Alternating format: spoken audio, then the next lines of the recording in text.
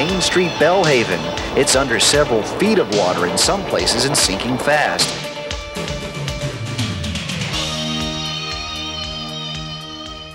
Hurricanes, tornadoes, ice storms, they're all natural disasters that we have no control over.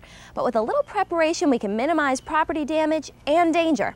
For the next few minutes, we're going to talk about what to do when the lights go out. We'll talk about how to prepare as a storm approaches, what to do around your home, what items to stock up on, and what plans to make. We'll talk about what to do during the actual storm, and of course, we'll talk about what happens after the storm passes. By following the instructions in this program, you can minimize the risk to you and your family. The employees at your local utility want to make sure you come through a storm safe and sound.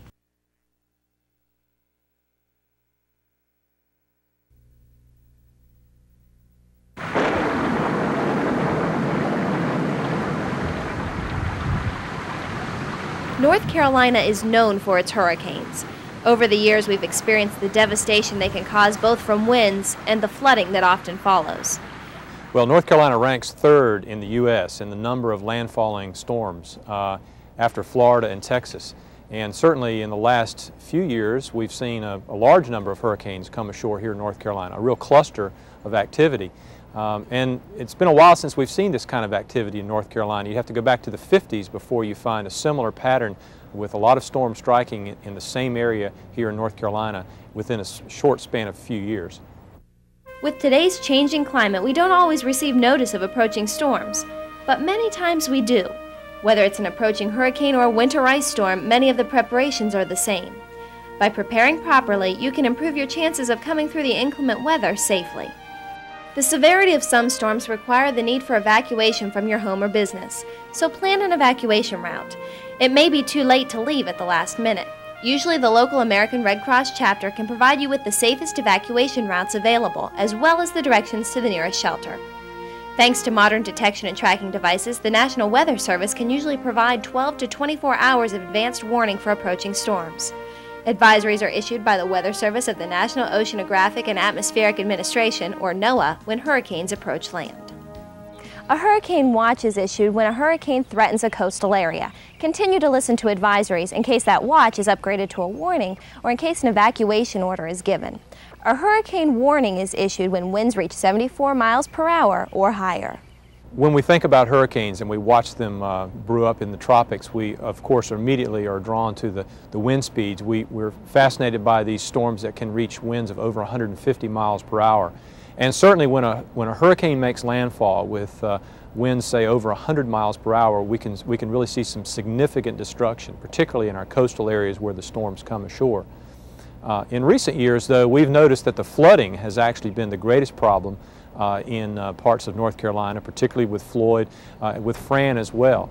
Uh, historically, storm surge has been the real threat on the coast where the sea level rises as the hurricane makes landfall.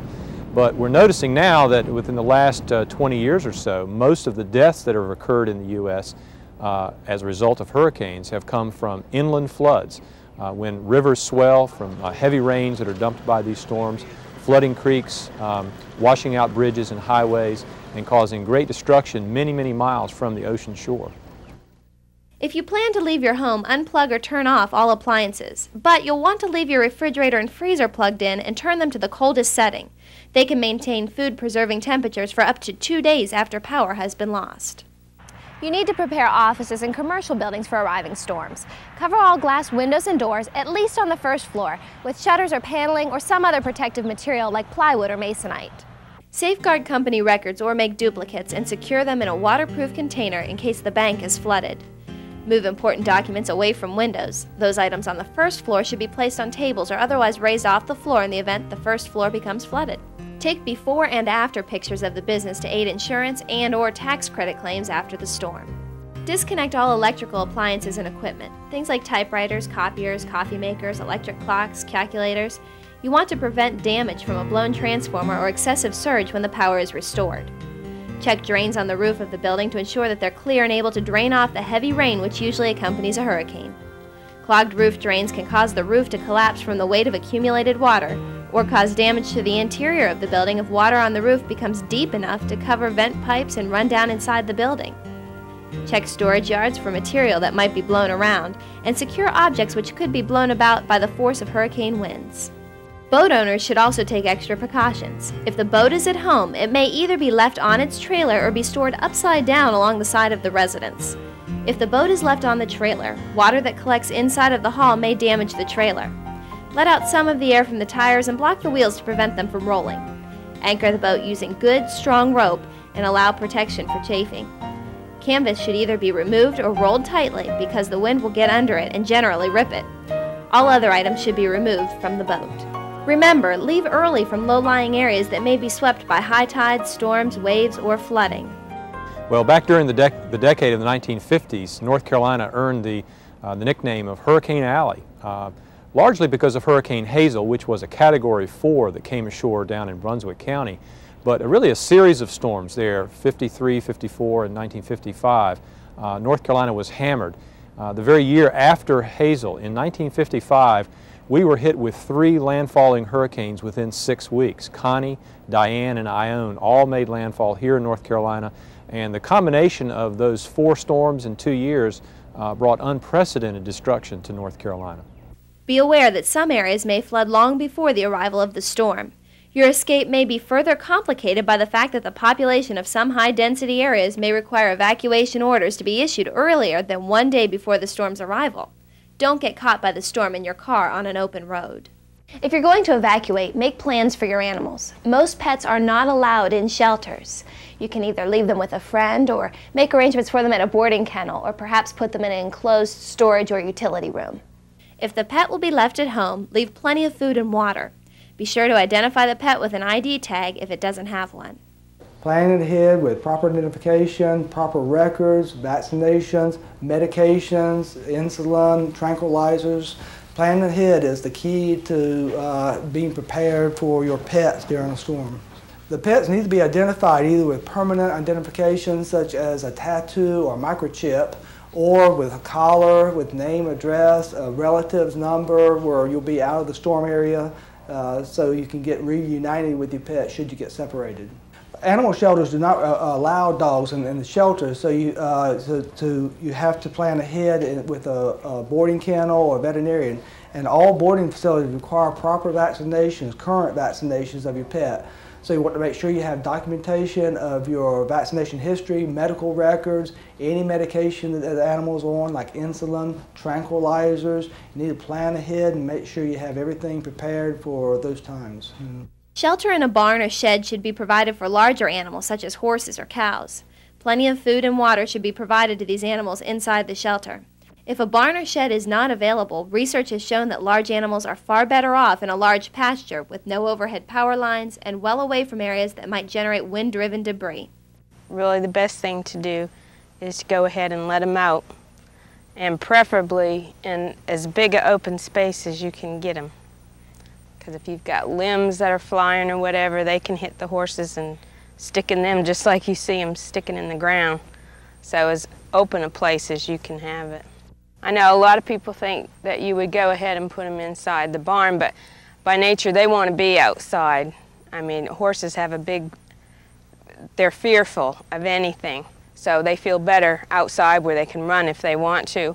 And um, lots of times they don't get along, but during a storm, they pool together, they'll just stand beside one, right beside one another and turn their butts to the wind, whichever direction it's coming to protect each other. They stay together. Another reason um, that you would want to put them outside, in case you can't get to them for a few days or whatever, they have a food source. They have their pasture that they can eat uh, when you can't get to them for any number of reasons, whatever. Um, and that's a good thing to have. They can live for several days with just on their pasture food if they have to. Animals have superb survival instincts in open space. Large animals should also have some form of identification information attached. If you plan to stay home, you need to prepare ahead of time. If you or a loved one needs any life support equipment, you need to envision a worst case scenario. Assume that you may be without power for quite a while. You should have adequate battery power for the life support equipment or an emergency generator and enough fuel to operate it. If not, make plans for the family member to go to a shelter that can handle life support equipment. Even though you have notified your power company of the fact that you have life support equipment in your home, They may not be able to restore your power as quickly as you need or want. A person who has respiratory problems or is on oxygen therapy should not be alone during a storm. This person should be advised to have someone stay with them or check on them periodically.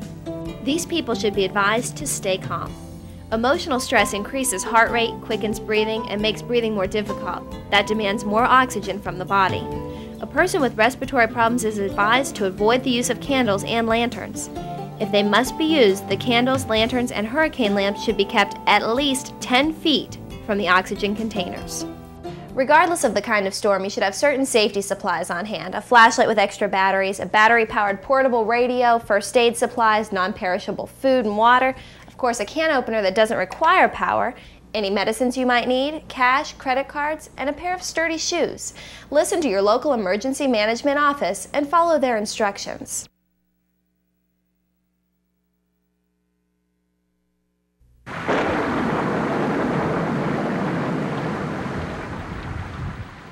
It's difficult, in some cases nearly impossible to live in today's world without electricity. Your electric utility knows that. That's why they do everything possible to keep the lights on. And when there is an outage, they work as quickly as possible to restore power. But if you're considering a backup electricity generator, it's important that you follow all the installation procedures properly. If installed incorrectly, a generator can cause serious harm or even death. Here's what you need to know. This is a manual transfer switch, also known as a double throw safety switch. For our application, we're going to call it a manual transfer switch. On opening the door to this manual switch, we'll find that there are three sets of lugs. The utility lugs are fed through the top. The load lugs, which in our application is the home, feed at the center. The bottom set of lugs are fed from the generator the, set, the switch has three positions. In the center position, all of the loads, utility, home, and generator are completely isolated. No power is being fed at all. In the up position, the utility is now feeding the load, which is our home. In the down position, the generator is now feeding the center set of lugs, which is feeding our home or load. Now, the reason we want and must have a manual transfer switch or transfer switch in general for our application is for the safety of you, your home, and linemen working on the power lines. Without a disconnect switch of this sort between your generator and your home, you run the very grave risk of backfeeding the utility's power lines with your generator. Now, what do I mean by backfeeding? Well, what happens is, without this switch, you're feeding your generator into your main circuit breaker panel. That circuit breaker is then backfeeding through the main lug back to the utility's transformer up on the pole. Your generator is producing about 240 volts AC. When it gets to that transformer at the top of that pole, it's stepped up to about 7,200 volts, and that line that is supposedly dead by the utility worker's knowledge is now hot and poses a very grave risk. This manual or double throw safety switch alleviates that concern and causes you or the lineman no harm. A manual transfer switch needs to be installed by a licensed electrician. If you do not desire to put in a manual transfer switch for your electrical system, you may still use your generator by plugging your appliances directly into the receptacles on your portable generator set. Bear in mind the size of the generator and the loads being supplied. Do not overload your generator and use the proper size wires or conductors for the application. Many people choose not to hardwire their standby generator directly into their home's main circuit. Instead, they power select appliances with extension cords. If those appliances are at any distance from your generator, make sure you use a three-wired cord with a three-pronged plug, and of course, plug it into a three-hole receptacle. Generator sizes vary. Common units can be from 8 to 14 horsepower and capable of handling from 4,000 to 8,400 watts, including starting surge requirements. Prices may range from 800 to $3,000. Also remember to determine the wattage output you need before you buy a generator. Manufacturers rate the strength of a generator in terms of wattage. The generator's output wattage should meet or exceed the total wattage of the appliances you will operate in case of an outage. Never exceed the rated capacity of your generator. Overloading can cause serious damage to the generator or appliances. Before operating a generator, list all of the appliances that are going to operate at the same time. Then determine the starting and running wattage requirements. The starting load lasts only a few seconds, but is very important when figuring the total wattage you'll use. Your generator must be rated to handle the total wattage. Always follow the manufacturer's recommendations on how to use your generator. Call your electric utility if you have questions about sizing or using a standby generator. Home generators are usually powered by gasoline, which must be properly handled as well. Operate them only in a well ventilated area. You've prepared for the storm and decided to stay put in your home or office. But now what? Remember safety first. Keep everyone inside, away from windows and doors, and if possible, stay on the downwind side of your home. To prevent the possibility of flying glass, you should have already shuttered or taped your windows and wedged any sliding glass doors. For added protection, also remember to keep blinds and drapes closed. Turn off all the appliances except for lights in the refrigerator or freezer. This will reduce the chance of overloading circuits when the power is restored. Use your phone only for emergencies. Should you call the power company when the power goes out? Not if everyone else in the area is also without power. Your utility has people handling calls round the clock and monitoring outages in a variety of ways. You can be sure that if all the power is out in your neighborhood, we already know about it. If there are down lines or sparking lines around your yard, by all means call. You should assume that all down lines are live and stay away from them. After a hurricane, the public needs to be very aware of down power lines. Uh, even if the electricity is on in your community and area, any down power line could be energized. You need to stay clear and contact the local authorities, the co-op office, and with the location of the power line. After the storm, if your home is the only one without power in your neighborhood, contact your utility for service. Before calling, check all circuit breakers or fuses. When you call, be prepared to give the name the account is in and the physical location or address of the home or business. The power company's most immediate concerns are providing power to essential services such as emergency radios, local TV and radio stations, hospitals, utilities, public service facilities, and the transportation system.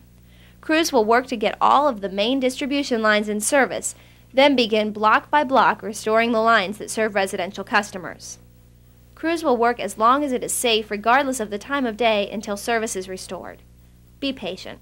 Each time a line crew member has to stop and answer questions about the restoration, it takes that much longer to restore your power. Public needs to understand that we have a systematic procedure for restoring power.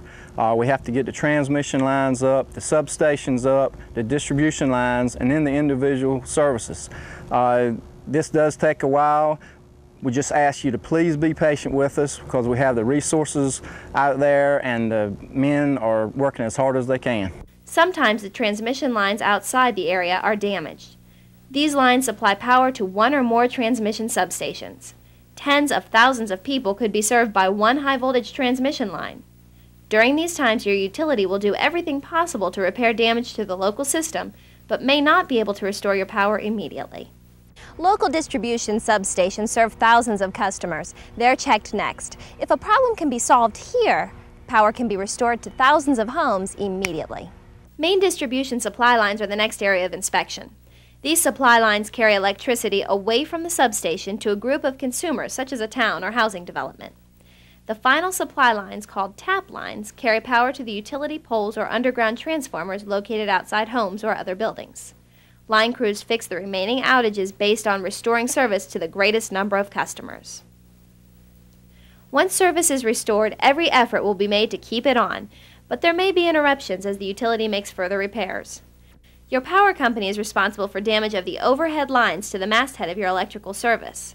Any other damage will have to be repaired by an electrician, many times before we can effect our repairs. The co-op is responsible for the service coming to the house and then the consumer's responsibility starts at the weatherhead connection. Uh, they're in charge of the responsibility of the weatherhead, the mast, and the internal wiring. And you need to get a licensed electrician to come to your home and fix it before we can re-energize your house. If you evacuated, listen to the radio and television for reports as to when it is safe to return to your home. Sometimes it's dangerous to return to an area where crews are trying to restore the power and repair damage from the storm. We ask your patience in these matters. You should get your information from the county emergency management offices. The employees of the electric utility will not be able to let you know of damage or a time when you can return. Remember, safety first. If you smell gas or hear hissing or blowing, open a window and leave the building. You'll want to shut off the gas at the main valve and call your gas company from a neighbor's home. Remember, if you have to shut off the main valve, you'll need a professional to turn the gas back on. Check your electrical systems. If you see sparks or frayed wires, shut off the electricity at your main circuit breaker or switch box. If you need to step in water to get to that main circuit breaker or switch box, talk with your electrician first. If your home was flooded, look for any down wires. If there are any, do not proceed. They may still be energized. Instead, call your utility. When you return to your flooded home, unplug any electrical appliances, but do not attempt to replace any fuses or reset any circuit breakers until all of the water has receded. Do not stand in water. When you're ready to make your repairs, make sure you're wearing dry clothes and rubber-soled shoes and stand on something dry and non-conductive, like dry wooden furniture. Before replugging electrical appliances into wall sockets, be sure the appliances have been checked for water damage and all cords and other parts are dry. If after plugging in an appliance the breaker trips or fuse blows, or you see smoke or smell a burning odor, disconnect the appliance immediately and have it checked by a qualified appliance service person.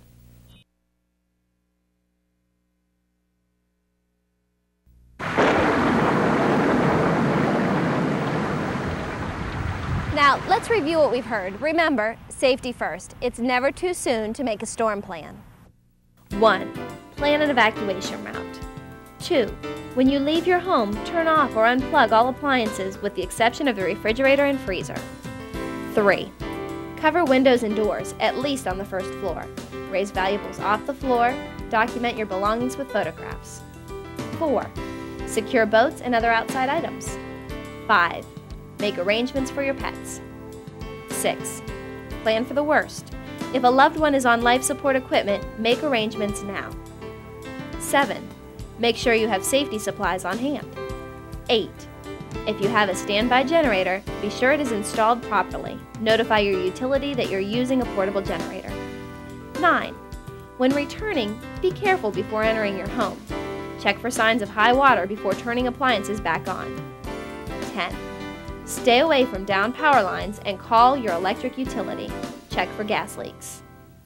Remember, safety first. We here at your electric utility will do everything possible to restore your power as soon as possible after a storm. But we need your patience and your help. If you have any questions about anything you've seen in this program, please call us. We're here to serve you. Our job is to keep the lights on and to provide safe, reliable power.